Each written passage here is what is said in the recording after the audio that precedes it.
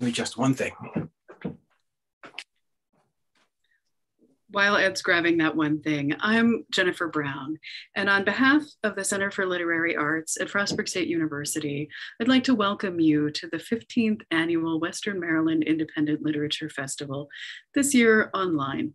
Um, I'd especially like to, inter- or to welcome you to this event with Ed Doyle Gillespie.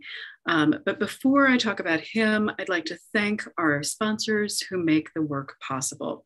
Those sponsors include the Allegany Arts Council, the City of Frostburg, Savage Mountain Punk Arts, and several offices at Frostburg State University, including the Office of the President, the Office of the Dean of the College of Liberal Arts and Sciences, and the Department of English and Foreign Languages and Literature. Edward Doyle Gillespie is a longtime Baltimore resident. He's a police detective. He holds a degree in history from George Washington University and an MLA from Johns Hopkins University. And since we met at a City Lit event a few years ago, he's been a great friend to the Center for Literary Arts, uh, holding or hosting really two sparkling uh, events last year, uh, just you know showing off his brilliance. Um, and we're so grateful to have to have had him with us last year online and to have him with us this year online. Uh, he'll talk about his work. Uh, but I'm curious to see where his uh, his forthcoming book of poems is. Um, and now, if you will help me to welcome him uh, virtually, this is Edward Doyle Gillespie. Hello. Thank you very much. Thank you. I am so excited to be here. I'm so excited to be that literature and uh, the arts are still nudging their way forward, even with all the vicissitudes of what we've been going through. So, thank you so much for bringing me in. I'm really, really happy. Uh, I wanted to to talk a bit about why poetry worked for me in terms of recording and in terms of expressing my uh, experiences as a law enforcement officer. Um, I know there's been a lot of talk about policing in the news over the past few years, and uh, it's you know it's got me to really go back and think a lot about the work that I've done and why I've expressed it this way and how this fits into larger narratives about policing. Um, so I I went back to a lot of my work and started going through it, and uh, kind of reminded me of Barbara Kingsolver. I heard her in a speech once say how she went back. She had to do a talk on animal dreams, and she went back and reread it and thought halfway through, who wrote this? Um, but she said every writer that you've been has a right to exist, and so I look back at some of my work, um, kind of looking for, as if as if I were an outside observer, and I don't know who this person is, but went back to say, okay, who is this person? Who's writing this, what's taking place. And so we know that writing and policing do go together. We're used to hard boiled detective novels and we're used to police procedurals. And we've read and heard and things seems like the wire and the corner and homicide you know so we, we've got that. Um, but why poetry? And so i had to ask so who is this poet? Why is this police officer writing poetry? So uh, i'm writing a science fiction novel and uh, i went to look at the term viscera I had to use the term viscera, and you know, so internal organs, the main cavity of the body, and you know, excused upon the heart of the matter, you know, and so that took me to visceral, right? And it hit me that okay, so maybe part of why poetry speaks to law enforcement is it has that that brevity and the economy of language allows me to be in touch with the visceral, with what's very direct and very existential in policing. Um, there's something cathartic about that because that's usually where an officer encounters those shocking things, those those existential crisis moments, um, and uh, those raw those raw moments. Um, I also I also thought that okay, so when I look at having to channel that, having to deal with that, that free verse worked really well. I couldn't, it couldn't be something that was too structured, too trapped, because those moments were very chaotic. Uh, that as a law enforcement officer, you try to lend order to moments like this and try to trap them, but often they're they're very chaotic. And I realized that when I look back at some of this work, if you took out the enjambment, they often read like short stories. Um, so let me just start you with this one. This is something that was inspired by uh, something happened on my first year on the job. Um, this is called Final Hajj. When the call to prayer goes out from the mosque on Islamic Way, I am helping to load Tavon Fitzgerald into the back of Medic 4. He has only a small hole from the girl's kitchen knife over his heart, but his body will erupt with a raspberry tide when the residents down at Maryland General crack his chest to practice the alchemy of resurrection. They will fail, unable to make the quick out of the dead, and I will gather his clothes, baggy layers of ghetto soldier uniform heavy with blood, and document them on a police form 56. I will wrap the chain of his zodiac medallion around his butane lighter and stuff them into the smallest of the evidence envelopes. I will shake the clots loose from his ragged sweatshirt as I give it to the next red plastic bag in the pile. I will change my gloves three times and wonder whether he was distracted at that last moment by the loudspeaker, reminding him that God is great. Um, that uh, that was taken from an actual incident, and the thing that struck me most, and where I talk about that kind of wrestling match between the free verse and this content, you know, this the the, structure of the verse and the content is um, there was so much chaos the chaos of what had been visceral, his viscera coming forth, and I was literally covered in it, trying to organize and categorize and catalog and then track everything about this guy's life from the chaos of watching him die. Um, so that is something that's going on inside of a lot of police officers. I think constantly trying to make sense of, organize these chaotic moments and chaotic concepts. Um, you know, the idea that I was looking at very intimate things about this person's life that were now just coming free. And I was trying to organize them and make them something impersonal. And I was intruding. Um, so that has hung with me. And that, that piece, I think, really speaks to that question that I raised about it. So maybe it was that. That then takes me to the mechanics of poetry. Do the mechanics of poetry speak to policing? And you know, poetry is very much about that the immediacy of sound.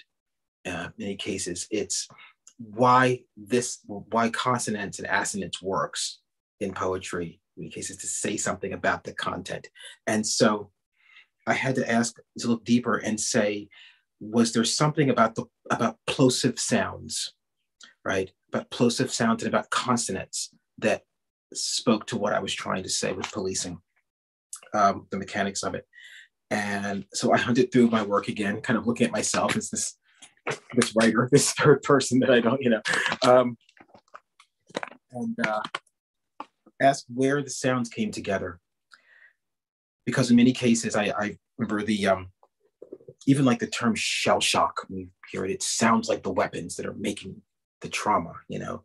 And uh, it brought me to this one that I wrote. Um, once again, you know, there's the implied author. A lot of these, I think I often created a police officer and said, and this is a situation like what I had seen as a way to, to filter it out. This is called First on the Scene. It is late in the shift and I am breathing you in. It has been six months since anyone has seen you, smelled your oxtails and rice, heard the muttered oaths as you paced the third floor hall in rubber flip flops.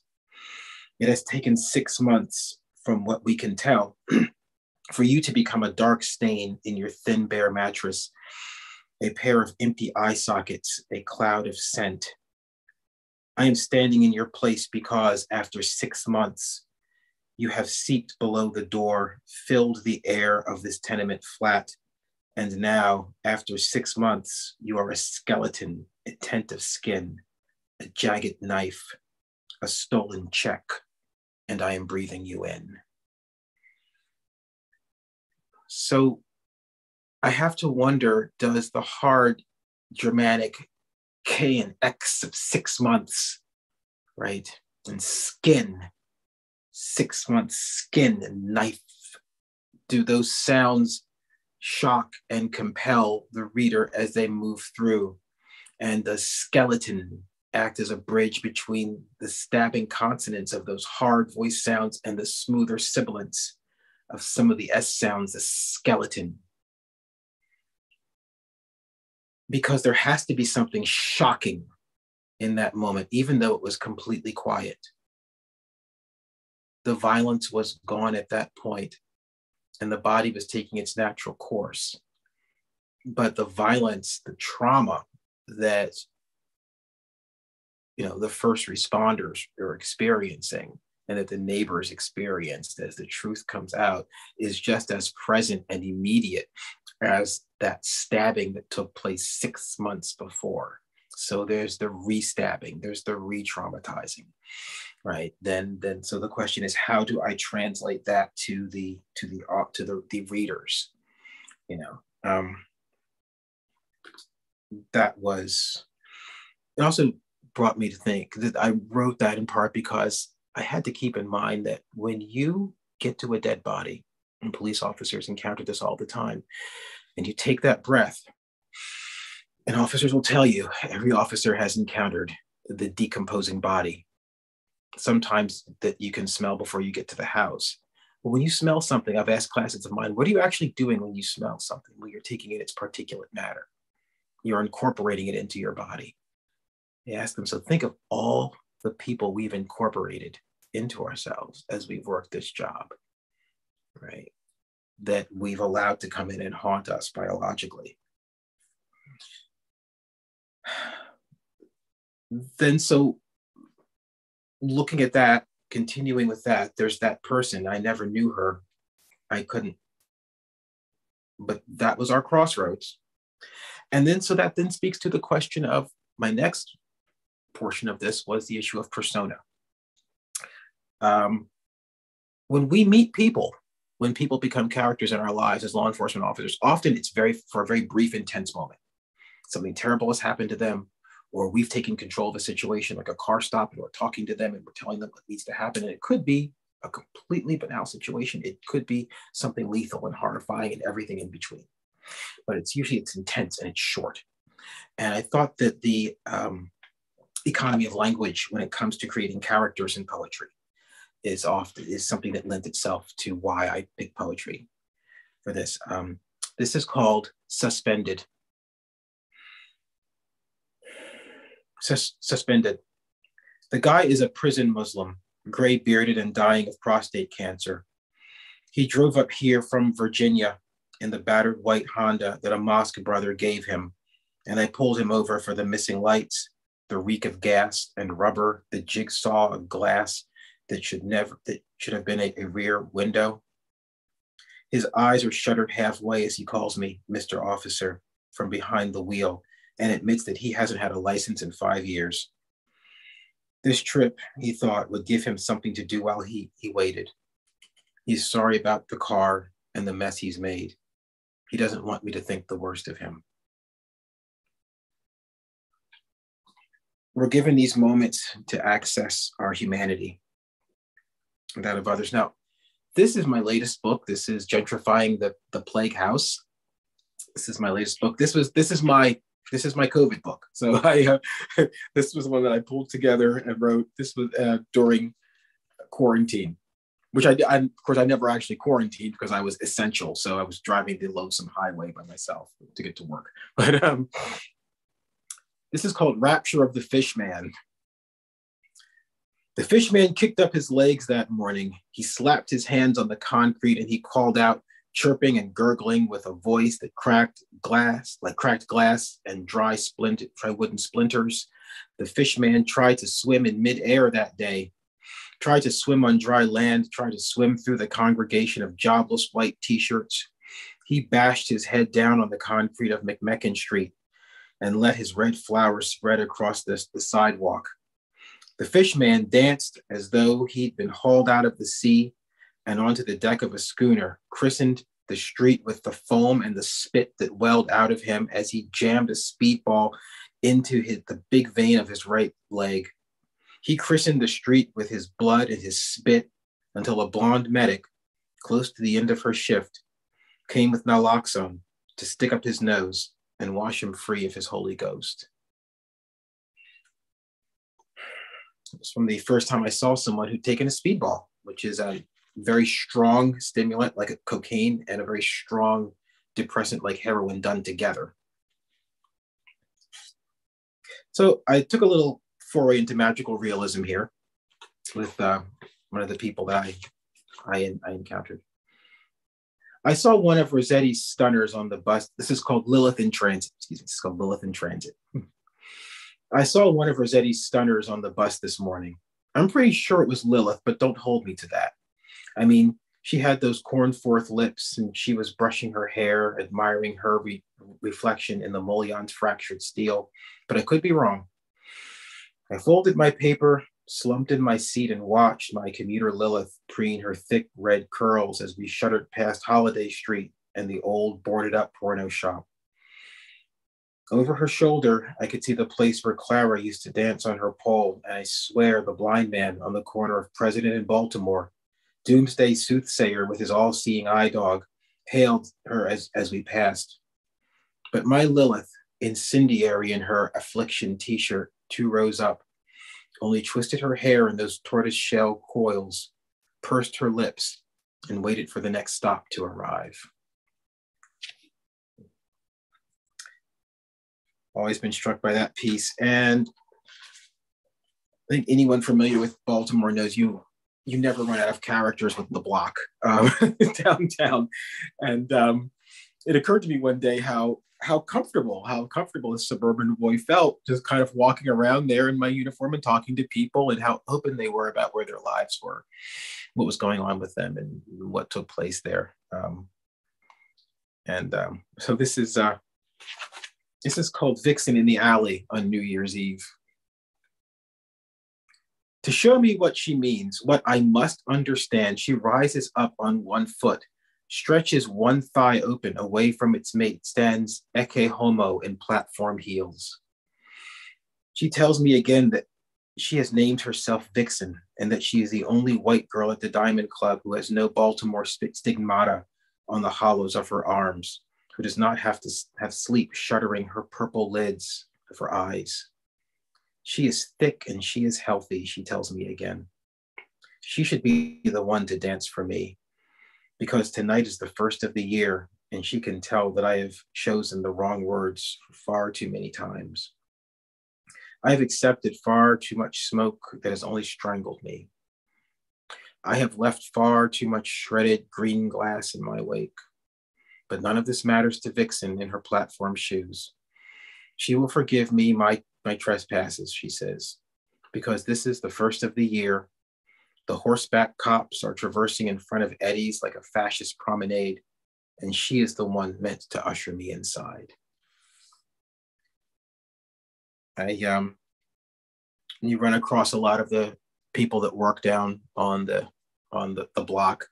There's this there's a, a feeling of, you know, look, you know who you are and who I am, and this is what I'm playing, and this is you tell me who you need me to be and there's a certain honesty in our dishonesty and um, i couldn't help but be moved by the stories of a lot of the women down there. Um, said the honesty a lot of them have about who they are and how they got where they are. And um, the intimacy that they have with the officers in many cases that you feel a certain sense of, of protectiveness actually you know as you know what they're, they're, they're going through. Let me see here. So this book on the later addition of Sancho, Sancho Panza was one of my first books. And I have another example of persona from this one. And um, this is based on a street informant that I had, a young lady who um, wanted to work with our unit and help us out. This is called Jess.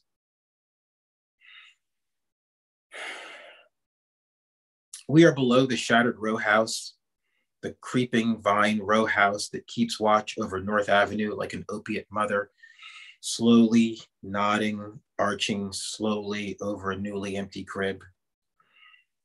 We are below the shattered row home that is turning green with that ivy that urgently comes to live in the broken places pieces of North Ave, North Penn North, and she is telling me that she can smell soul food from Mel's. She can smell lake trout and white bread that soaks up the grease from a block away.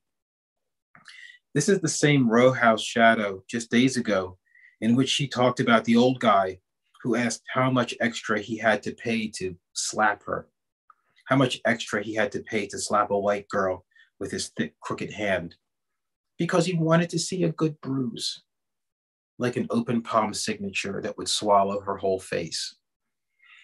And the redness is less now, and her hands are swollen now. She is asking me if I can smell the grease of the sizzling fish and if I can hear the boys calling out a, a block away, and how long I think it will take for the verdant fingers to completely enshroud this empty, weeping house. Um, you're always struck by how survivable humans are. And um, a person who worked in drug addiction therapy told me that she said one of the problems with humans is they can survive too much uh, that um, we might be healthier if we would just die when certain horrible things happen, but we learn how to adapt to them. And talking to this young woman, how she just saw the beauty in so much it was around her and was so grateful for so many things that to me seemed implausible. Um, is something that sticks with me. I wonder, I wonder where she is now. I always wonder at that.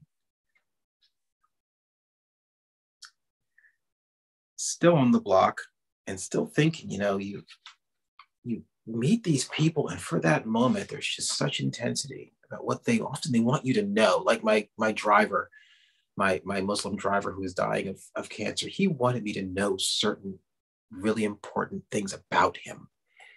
So my first thought is what difference does it make if some cop you never see again thinks you're a good guy? But it was like, officer, I want you to know I'm, I'm not this bad guy. I did some bad things, but I, I really am a decent person.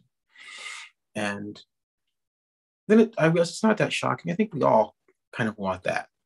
I think we all want that, no matter what our interaction is. And so it's very easy. I think I think using poetry is great because it does demand that you look at that person, look at that situation, and you look at it in a, in a reductionist way and say, this is a person, right? this person was speaking to me through the lingua franca of humanity right and i've got to whittle that down to a few lines you know. And i could usually you could easily use those lines to dehumanize someone of course. But i think that for me as a tool i had to say who is this person? And it really needed me to say you know why why would this person say that? Why would this guy in this situation instead of just saying you know man i'm dying of cancer. I don't care if you give me a ticket whatever. But it was like no. And he told me to make sure I went to the doctor. He said, I tell the guys, make sure you go to the doctor because I didn't go. Uh, how are we doing on time? Good. Okay. All right. All right. I've got uh, another one here from the block, actually. So you do bar checks. So you walk around and you have to walk into bars sometimes, see how what's going on. Is anybody brawling? You know. Um, so uh, this is called Billiards. This is from a, a scene that I saw as I just walked into this one thing. And, I, and again, there's the implied author. I said, okay, so what else could I do with this story here? Billiards. It is past noon on a Tuesday, and I find you shooting pool with the same old man as before. You have made a long rope out of your hair, and you talk sweetly to him because he is the he is the dust bowl man who walks the block. He is the bony, silent wisp of a Baltimore that knew milk wagons and colored only signs, the one whose narrow eyes and chapped mouth are always lost below the lip of a blue baseball cap.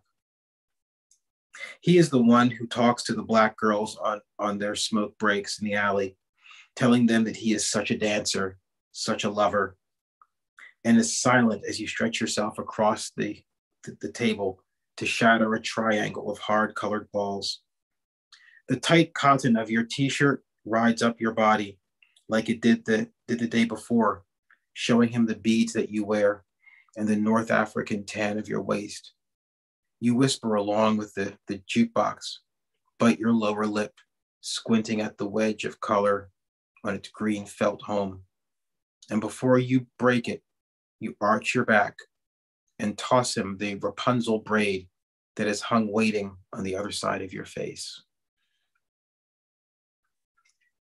Um, the young woman uh, that I met who was a bartender, and there was a certain science she developed, a certain art and science as to how to talk to men, specifically men, and see things about them that she could pull out to compliment them, to make them feel like they were the only man there. And she told me, I know how to make guys feel like they're the only man in the world, and I'm there for them. And uh, there was just this scene of this beautiful young woman, very vital, very, you know, just arch- archetypal, just, you know, nubile young woman talking to this very old, weazened man who looked like he was just on his last legs. And you could see an energy about him that, you know, seemed to make him feel that it was 50 years ago, you know. Um, and she said, That's what I do. uh, thank you. Very cool. Let me give you one more. So this is actually based around an officer that I knew, um, who was really, he was kind of the warrior I always wanted to be. Um, you know, I, I tried to go to the U.S. Marines and I, I wanted to go to war. And, you know, I so I ended up working with this officer, and he he gave me this image, and I don't think he understood the gravity of it. Um, it's called hijab. The thing he remembered most about taking Kuwait City was how the women ran right up to the armored filth of their lumbering M1 Abrams tank. They ululated, these women, a flapping sea of black shrouds and dark gleaming eyes, he, he, he recalled. He made the sound as best he could for me, and I imagined their high resonating voices entangled in the pained, pain-based groan of American tanks and armored cars. Lost in the bleat of a swooping chopper, one came so close, he remembered, that he feared she would be caught in their slowly grinding treads. The woman looked at him, perched on his turret, his face covered against the sand's angry blast with a green marine issued towel and plastic goggles. She stood on her toes and saw the surprise that sparked behind his dusty lenses when she took hold of her veil, pulled it down, and showed him her face.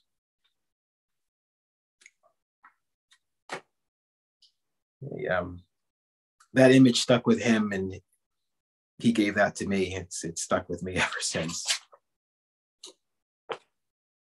This cop, by the way, is an expert in flowers and flower arrangements that um, particularly roses. He said that he went to therapy and they said he had become so violent and so brutal because his life was completely masculinized and he had to find something feminine and creative to put him in a different space. So he arranges flowers hmm.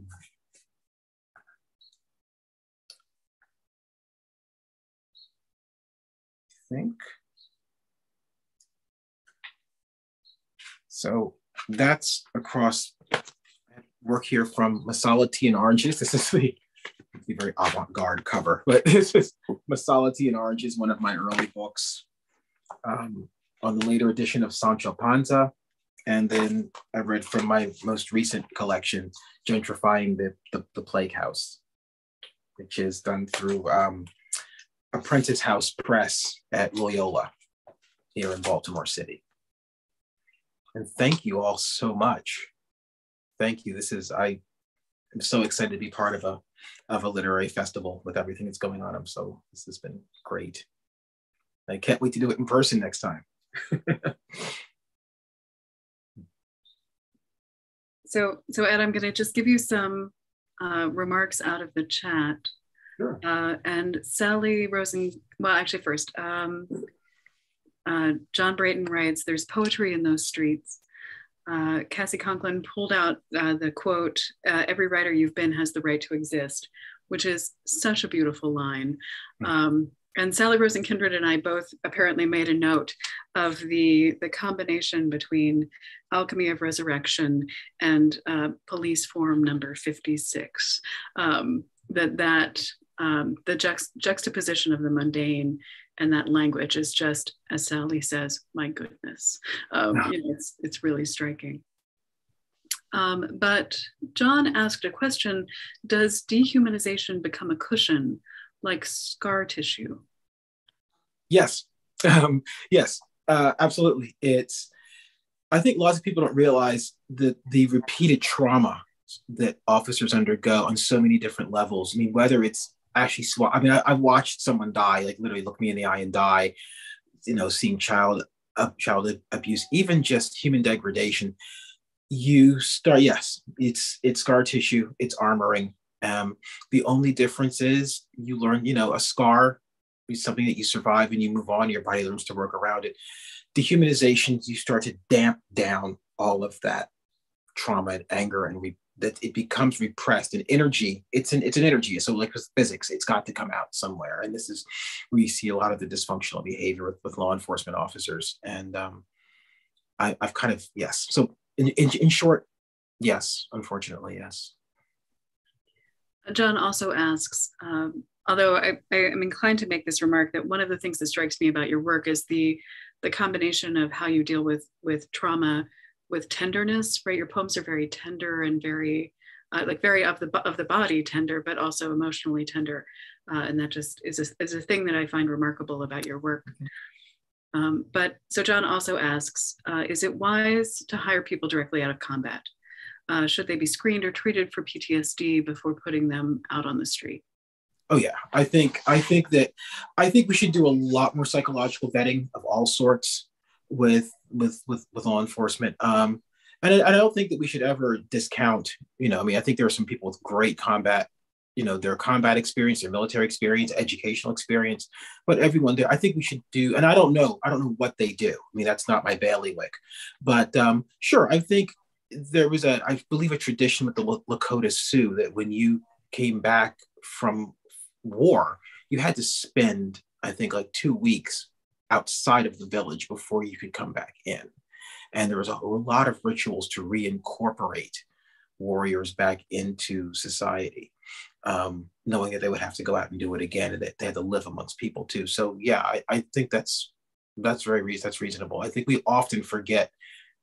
Again, we we do this in, in cycles. We did it with Vietnam, and we've done it again. That we forget that war has left a terrible tra- traumatic mark on this society, and we have to deal with it on all sorts of levels yeah. Thank you. Uh, Nina Forsyth asks, the first few poems reminded me somewhat of the World War I poets like Wilfred Owen. Oh, wow. uh, do, do those poems resonate with you? Oh my gosh. So we had to, re- we had to read a poem in the first grade. Uh, we had to bring a poem in and read it. And my mother, this is just stand with your parents and find something. And my mother gave me Dulce et decorum est pro patria mori. I remember my father saying, oh, "Don't you think that's a little heavy for a seven-year-old kid?" But um, so I went in and, and, read that, and that Wilfred Owen has been with me ever since. Um, so yes, oh my gosh, and it's funny because I don't really consciously think, well, let me, you know, me draw on this, but I, the war poets have been with me for so long. Yes, and I've revisited that genre with the m- most recent wars and found some. I mean, whether it's rap music that they've put out that soldiers have put together rap music poems short stories. So yes that's that's very much a part of my of my thinking so much so that it's not even conscious. But yeah but thank you for the, the comparison. Um, i think it's coming from a lot of the same place. Yeah. Definitely.